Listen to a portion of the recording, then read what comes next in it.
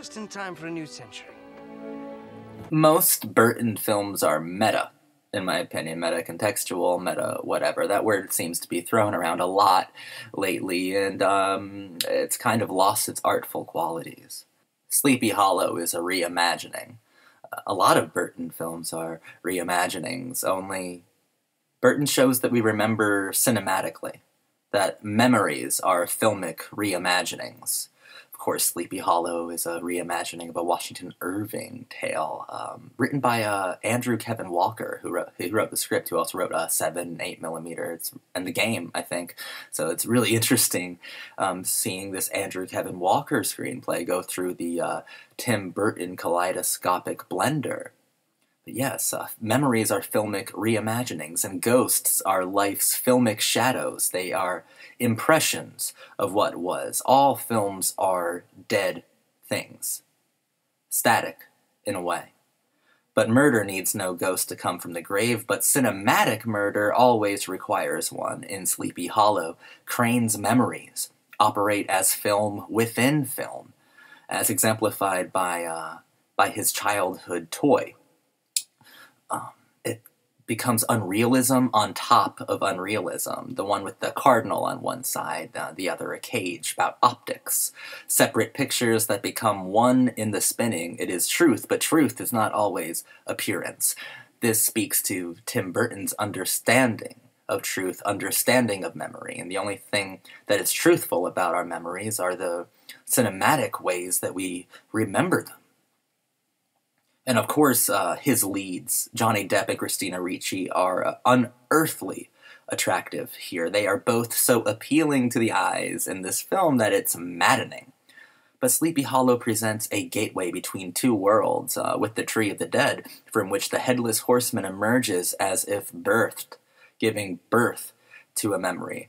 Uh, memories are the only things that make us cognizant, that make us uh, truly and actually um, creatively alive. Uh, creativity means a lot to Tim Burton. And this is the every time a new memory is birthed, it is uh, it is changed. It, it is changed uh, cinematically, and every time it remembers something, remembering anything uh, creates unrealism, um, creates a reimagining, and it's not to say this is all completely fantastical. There is actual true horror filmmaking in the slaughter of the entire Killian family, and also in the Iron Maiden fantasy or uh, memory that, that Ichabod himself has. And A Sleepy Hollow is a film that um, that gives us uh, heads that wear dark masks of righteousness, right? Uh, Sleepy Hollow speaks of kisses and melodrama in gothic comic self-aware shades, and it's a genuinely funny film. This film did have me laughing quite a few times. It takes place in a fantasy village lost to mysticism and magic, lost to cinema. Tim Burton and Suicide Blondes is something that we should probably dive into as well. Tim Burton is obsessed with uh, with blondes. He's completely preoccupied with them. It makes you um, think of uh, Hitchcock and Hitchcock's famous preoccupation with suicide blondes as well. So here we have Christina Ricci, but of course, like just to name a few. I mean, in Edward Scissorhands, we had Winona Ryder dyed blonde, and of course, he'd have Anne Hathaway dyed blonde later for his Alice in Wonderland films. He is very interested in uh, gaunt, busty blondes and terrorizing them on film, and uh, nearly virginal. Um, uh, nearly childlike as well. I think Christina Ricci was only 18 years old during the making of this film, and Tim Burton seems to revel and terrorizing her. In fact, uh, Tim Burton in this film um, seems to be a filmmaker possessed, um, possessed by the motifs of the fairy tale, possessed by every wonderful um, quality that goes into fairy tale filmmaking. We have the wicked stepmother motif in this film. Carries over from his other films like Beetlejuice, uh, j- j- just to name one. I mean, uh, every Tim Burton film ha- has all of these uh, fantastical qualities. You know, the Dark Avengers, swords, beheadings, um, and then we get these amazingly meta-contextual moments where the, the film is self-aware of, of its own um, superfluousness, right? The servant girl Sarah, seemingly extraneous and entirely forgettable to a point. Uh, there are quotes of, I always thought she was useless, which she had been in the film's mind, but it seems she had a purpose after all. And Tim Burton makes all of these um, kind of wild meta statements with a, sat- with a satanic glee. Um, as is common, Burton's absurdist view of death is not fixed or inert, it is entirely transformative and there are Kafka-esque absurdities in this universe as well. Um, Christopher Walken is incredible at the Headless Horseman on his rampage, and famously, his first screen kiss is an unforgettable moment. Um, with these white witches and wicked compendiums. This is a film that is bewitched by reason or beaten down by it, or perhaps both simultaneously. And of course, the film came out in 1999 um, famously the last lines of this film, just in time for a new century. So, what does Tim Burton?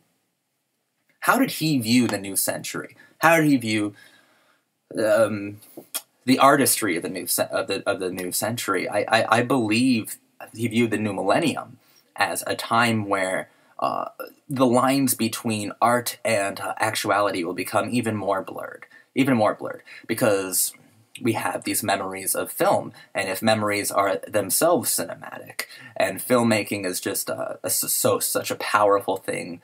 Uh, films are such a powerful thing to watch because they are built on, on on top of that inherent unrealism within our memory, and they're able to kind of uh, project that. They're able to capture the unrealism of memory itself, and we have memories of film, and we even learn our ethos. Um, we feel pathos, we feel sympathy, we learn a lot of morality from film. So we are learning cinematically, and we are acting more cinematic as well, it, it, or, or more artful. Um, I think that we are becoming. Uh, kind of impressions of impressions, creations of creations, not necessarily derivative, not necessarily negative. Um, it could be a form of enlightenment, but there are restrictions to this um, enlightenment because it is all reimagining. But the reimagining is inescapable if you are a living creature, kind of building memories where there weren't any to begin with. Uh, Sleepy Hollow, this is the first time I've watched this in a very long time. I possibly haven't watched this film in almost 20 years and I, I, thought it was really incredible. I had slightly low expectations going into it. I thought it was kind of a throwaway Burton film, but no, I think that it is absolutely fantastic. It's an absolutely fantastic film. And um, apologies for that cough, but I feel it's on the higher uh, tier for, for Tim Burton. I feel like this is where he really gets that that um, that that, that the the power of um, statements about art within art. I think this is really where that power um, is harnessed fully. And so, um, and, and Sweeney Todd, the Demon Barber of Fleet Street, much, much later on, he can really capitalize on the premise of art commentating on art and um, in essence or in, as in a reimagining of doing that uh, it comments directly about um, the human condition so Sweeney Todd the Demon Barber of Fleet Street, I feel, is the finalized version of a lot of the um, kind of artistic um, language that is in Sleepy Hollow. Uh, it, it, brings that kind of um, really possessed and possessive cinematic language uh, directly to the forefront. And I, I, feel that everything about Sleepy Hollow is, is incredibly entertaining and also extremely powerful. I think Tim Burton is extremely powerful when he is um, focusing on the creative spirit and uh, the role of the human condition within the creative spirit because all human beings become creative when we recall when we recall a memory because we have to recall it in an unreal way in a way that we know is cinematic in a way that we know is um, different absolutely different. There is nothing um, kind of less trustworthy than human memory but there's also nothing less powerful. There is uh, we all we are is, is a combination of the different memories that we believe that we have that we reimagine. And you can reimagine yourself to be uh, a bunch of different people all at the same time, all of your different selves. We become optics.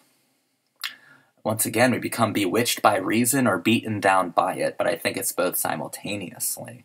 And I, I, I think Sleepy Hollow is a is a wonderful film. It's not just an exercise, it's a perfectly completed film, full of style, full of that German expressionist style, full of the old monster movie style. But of course, monster movies are arguably like the James Whale ones and uh, uh, Tod Browning. Those monster films are in part derivative of German expressionist films of Robert Wiene, and Fritz Lang, you know, Hands of Orlac, Caligari, uh, Metropolis. They're derivative of that style. But this is a reimagining of the style, and the style takes on new form, new characteristics, a, a new mood when it's reimagined because it's a filmic memory. It's unrealism on top of unrealism, on top of statements about artistic and creative unrealism. Memories force us all to become artists or creatives in some sort of capacity.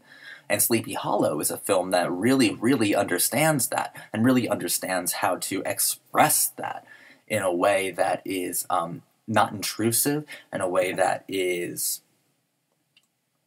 uh, deliberately composed, in a way that is um, refined and uh, clear. There's a great amount of clarity with Sleepy Hollow. And I want to thank you guys for watching this video. Um, Sleepy Hollow is, is a wonderfully uh, fantastical film. And uh, yes, I am in love with Christina Ricci and Johnny Depp in this film. They are incredible to look at. They uh, have an incredible amount of chemistry. And Tim Burton knows, of course, he knows how to film Johnny Depp. That's his eternal muse. And he films him splendidly in this film. And Christina Ricci ha- possibly has never looked better. Uh, this is a, an absolutely fantastic film, even if we're looking at it from the base superficial notions. Um, but I really don't think there's anything superficial about the film's messaging. The film's messaging is about unrealism and how it is built on top of unrealism. And how unrealism is something tactile, something that you could actually feel. Just because something is unreal doesn't mean that it's untruthful. And once you can, uh, once you get to the bottom of that, statement right there, you really understand Tim Burton's methodology. Just because something is unreal does not mean it is untruthful, because there is a uh, there, there's a great distinction, a great delineation between the two. It's not a dichotomy. It's a relationship of command, a relationship of control, a relationship of creativity, and the value, the value of creativity. There's an enormous amount of value in Tim Burton's work. The cardinal itself um, is a fascinating metaphor. There's a lot of metaphorical value. There's a lot of value in this language that Burton uh, that Burton uses. Burton utilizes extremely well. The cardinal, um, as a bird, is seen several times in this film, um, either literally or um, kind of an impression of it on uh, on, Ichabod's uh, optical illusion childhood uh, trinket, his toy. And of course, this could mean, you know, a cardinal is appointed by the, the, the Pope, and that this film also has some things to say um, in favor of mysticism um, in opposition to, uh, to Catholicism, of course. But I think that um, what is truly spiritual for Tim Burton is actually the cinema itself. So I think that this this cardinal metaphor is is truly symbolic of of memories, of filmmaking, of unrealism. And I think that seeing it both as a literalized bird and um, painted onto Ichabod's toy and, and used to um, really express illusion, to express unrealism, is how something can be both unreal and truthful at the same exact time. There's a lot of value in this film, and I think that Tim Burton needs to be reappraised because I think he's the definition of the American auteur in Manifest. He's the definition of that. He's an extremely important filmmaker, and it's time he, he, he got his intellectual due. It's time that, that we really stood back and studied his work. Because films like Sleepy Hollow are fascinating. And just in time for a new millennium.